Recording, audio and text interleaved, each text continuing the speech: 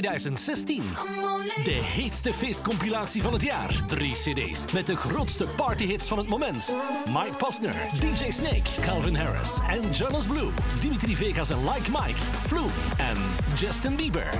Spring Break 2016. Mis dit feestje niet.